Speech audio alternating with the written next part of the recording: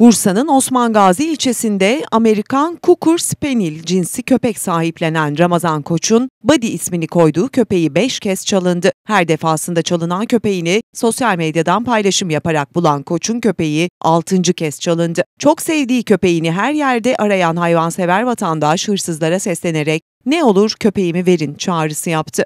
Ben gidiyorum babacığım. Köpeğinin 5 yıldır yanında olduğunu ifade eden Ramazan Koç, daha önce 5 kez çaldılar, hepsinde de buldum. 6. kez tekrar çaldılar diye konuştu. 6 senedir bendeydi Buddy ben. Ee, Buddy oğlum diyeyim yani kısacası. Çocuğunuz gibiydi. Aynen efendim. Hepsinde bulduk bu sefer biraz uzun sürdü. Evet. Sizin yardımınız olursa yeniden bulacağız Allah'ın izniyle. O da aynı yani hayat arkadaşım yani.